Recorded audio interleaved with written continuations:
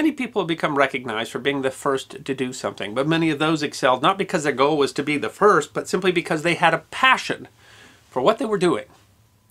Janet Guthrie was the first woman to qualify for and compete in both the Indianapolis 500 and the Daytona 500, along with many other racing firsts. But her goal was not necessarily to be the first woman to do anything. Like any other driver on the track, her goal was to be the best. Janet Guthrie faced many obstacles in her career, and yet her career became legend because of her brilliance, her persistence, and her passion. And Janet Guthrie's career deserves to be remembered. Guthrie was born in Iowa City, Iowa on March 7, 1938, the oldest of five children.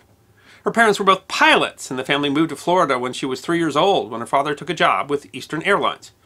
It isn't surprising, given who her parents were, that she learned to fly at a young age and earned her pilot's license at just the age of 17. It seems I was born adventurous and grew up insufficiently socialized, Guthrie said. At 16, she jumped off the wing of her father's plane with a parachute she went to college in Michigan and ultimately earned a degree in physics in 1960. She called flying her first love, but her flying license wasn't particularly useful as a career, as airlines at the time wouldn't hire a woman pilot. She got a job with Republic Aviation as an aerospace engineer in New York, working on projects that were precursors for the Apollo program. She wanted to be an astronaut because it seemed like the greatest adventure the 20th century had to offer, but in 1964 she was rejected after applying for the scientist astronaut program because she lacked a PhD, though she got through the first round of eliminations. She was brilliant. She had both a good career and a good education, but then she found something that she found to be more interesting. Motorsports. She got a hold of a Jaguar XK140, and her first introduction to racing came from amateur sports car races in parking lots. In 1963, at the age of 25, she started racing in the Sports Car Club of America, which that year had begun holding professional races in addition to amateur ones. Living in New York, she competed in a variety of regional races, autocrosses, hill climbs, and field trials. One of her friends said that all of Janet's money was spent on racing, which she did on the weekends while working. She moved to national races with her Jaguar, and by 1972 she had given up her aerospace career to race full time. During her SCCA days, she built her own engines and towed her racing cars in a station wagon she bought for $45. She drove around the country, sleeping in her car at night and racing by day. She wasn't able to find much in the way of sponsorship or funding and poured all of her resources into maintaining her own cars. She had no crew and did everything herself. It was doable, she said, if the desire was strong enough. Anything is doable. She cleaned herself up before the races to look as if she was just as rich as the rest of my competitors. She built her engines wearing two pairs of gloves to keep her manicure as perfect as she could make it. In 1973, she won the SCCA North Atlantic Road Racing Championship in a Toyota Celica. She also won a couple of Sebring class races. By 1976, she'd been racing for 13 years and given her all to racing, when she was contacted by a man she'd never heard of, Rolla Vollstedt. Vollstedt was a longtime team owner and car builder and among the last of the low-budget independent teams.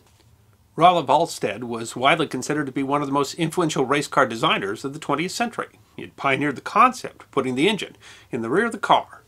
He too was driven by passion and had built his first car in his basement, and Guthrie had caught his interest. He told People magazine in 1976, I wanted to satisfy my own aspiration of being the first to enter a woman at Indy. I asked around for the top female driver and everyone answered, Janet Guthrie. For her part, Guthrie was quoted in Reed magazine in March of 2018. I had no house, only a used up race car, no money, no jewelry, no husband. Then the phone rings and a man I never heard of asked me if I want to take a test in an Indy car. He invited her to test a car and attempt to qualify for the 1976 Indianapolis 500, and she took 15th in her first IndyCar race at Trenton on May 2nd. She hadn't expected that her attempt to qualify would be a big deal. By her own admission, she'd been in male-dominated fields her whole life and never felt that her gender had gotten in her way.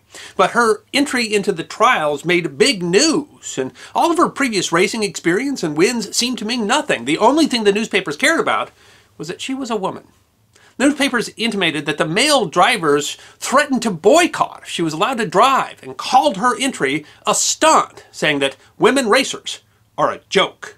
What's that you say? A woman going to drive in the 500? They quoted drivers who were saying that she was going to kill us all. She ought to be home having babies, and that the very idea of her racing was idiotic. Guthrie was stunned by the outpouring of vitriol, and she had never experienced that before. But the car that she was racing in had mechanical problems and ultimately failed to qualify. But she did do a few laps in one of legendary driver A.J. Foyt's cars, reaching an impressive 181 miles per hour. She'd had a better car, she may well have qualified that year. She was invited, however, to start racing in an entirely different kind of car racing stock car racing. She became the first woman to compete in a NASCAR Winston Cup Superspeedway race, coming in 15th in the World 600 race.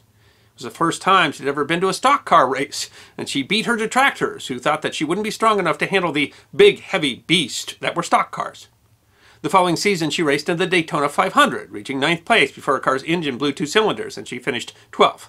She also earned the top rookie honor at that race. Her highest finish was sixth place in 1977, a feat only recently tied by Danica Patrick in 2014.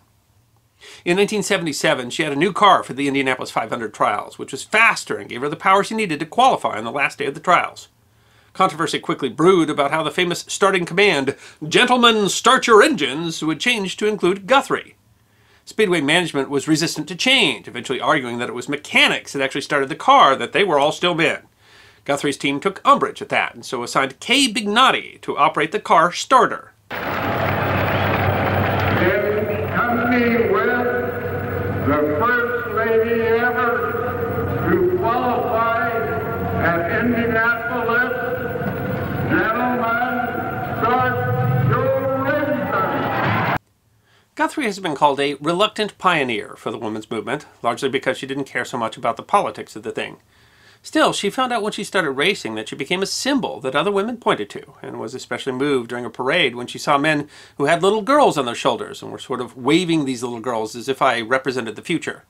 She had come to see the championship of women as a responsibility. She had had at least a potential offer in 1977 to join a better supported team, but ultimately stuck with Vollstedt because of his loyalty to her, and she later said that she could have driven for a richer team, but not a better team owner. Still, she ended up leaving the team before the 1978 race, and she was unsure that she would be able to compete. She explained on Good Morning America that her prospects looked grim because she couldn't find sponsors.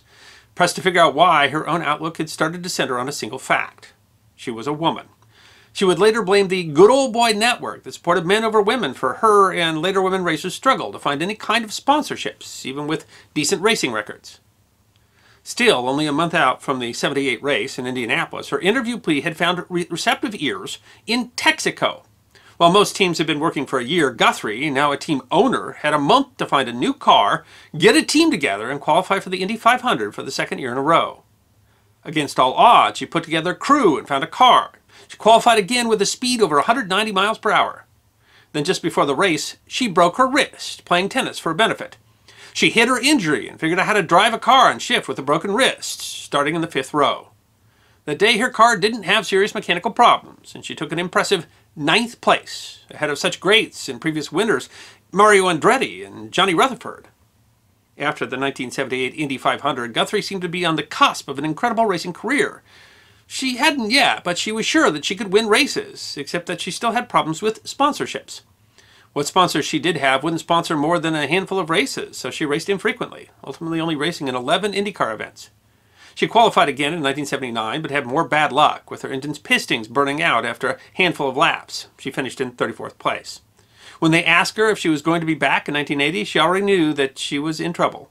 Without sponsors, this just may be it, she said. For the next four years, she sought sponsorships without success. She did everything she could to find a way to keep racing.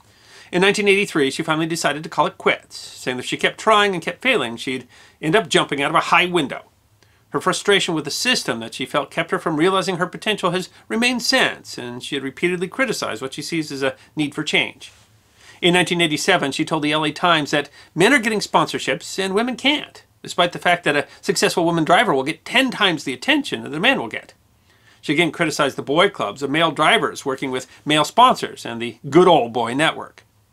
It would be 13 years after the 1979 race that another woman qualified for the Indy 500 when Lyn St. James did so in 1992.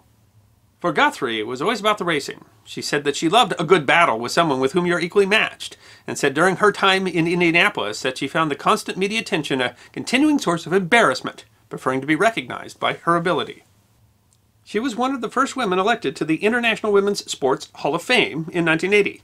In 2006, she was inducted into the International Motorsports Hall of Fame. Her helmet and driver's suit are in the Smithsonian. After proving herself racing, she won over many of the racers who had balked at her presence on the track. 1983 Indianapolis 500 winner Tom Sneva said Guthrie knew her equipment and how to drive. Legendary NASCAR and IndyCar driver Cale Yarborough said, More power to her. She has made it in what I think is the most competitive racing circuit in the world. Fellow racing legend Mario Andretti said that anyone who says she doesn't belong just feels threatened. 1980 Daytona 500 champion Buddy Baker said in an ESPN article in 2013 when you're out there racing with someone and you see what they're really capable of, they can't help but win you over, especially when you know what they're doing with second tier equipment and all the BS you had to deal with. I don't care who you are, you have to respect it. ESPN noted that Baker raced against Guthrie for all 33 of her NASCAR starts, finishing ahead of her 20 times, but finishing behind her 13 times. Despite all of it, Guthrie says she wishes she could have done more. I didn't quit willingly, and I didn't accomplish what I felt I could. Janet Guthrie was a pioneer not because she was a crusader, but because she had a passion for what she was doing. She wasn't out there driving to make some sort of point, except, of course, the point that she was as good a driver as anyone. Even when she was facing hostility from the press, she shrugged it off. She told the press that she found the uproar funny, but she was still painfully aware of obstacles she faced the lack of sponsorships, the poor equipment, the often hostile press and public. She said that extraordinary women have always sought to prove themselves, but their history is often forgotten or denied to exist. So women have to reinvent the wheel. Still, she's made it very clear what she wants to primarily be remembered for as a damn good racing driver.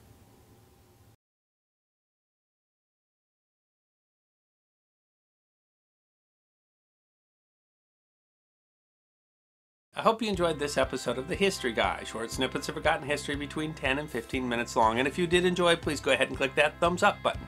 If you have any questions or comments or suggestions for future episodes, please write those in the comment section. I will be happy to personally respond. Be sure to follow The History Guy on Facebook, Instagram, Twitter, and check out our merchandise on teespring.com. And if you'd like more episodes on forgotten history, all you need to do is subscribe.